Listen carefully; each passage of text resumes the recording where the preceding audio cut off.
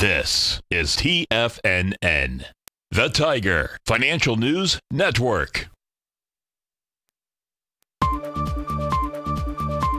TFNN. Headline News Update.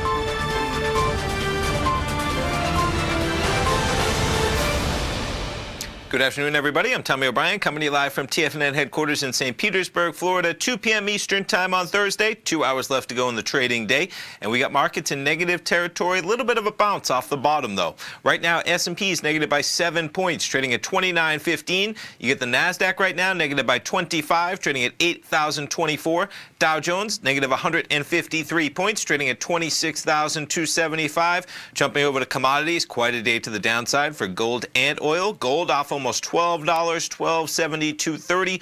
Oil off $2.15, trading at 61.44. And on the heels of the Fed meeting yesterday, we got bonds with lower price, higher yield, 10-year note negative 12 ticks, 123.06, 30-year bond negative 21 ticks, trading 146.30, and that dollar index up 100 35 ticks, trading at 97,545. Let's jump over to the futures markets. We'll start it off with the Dow. So I back things up a bit on these charts just to give some perspective of where we were yesterday afternoon coming into the Fed meeting that started kind of the run to the downside. So you had the Dow noon yesterday, about 26 hours ago, trading at almost, we'll call it 26,650. So we're a solid 400 points off that level, even though in context, we reached a low this morning of 26,157. So 80 points off the low, but still 400 points in the Dow negative from where we were yesterday.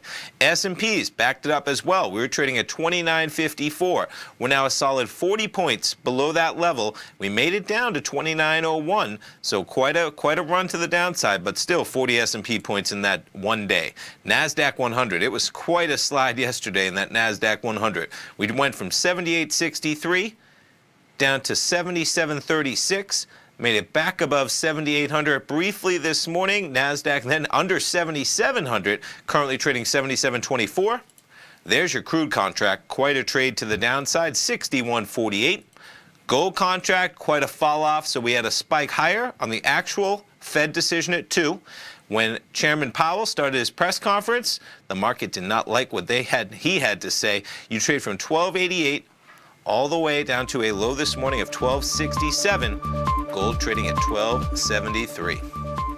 Stay tuned, folks. We got our man Dave White coming up right now at the Power Trading Hour. Then, of course, Tom O'Brien wraps up live from 3 till 5. We get the jobs report tomorrow morning. That'll be interesting. See what happens. I'm sure they'll have plenty to talk about. Stay tuned, folks. Dave White coming up right now.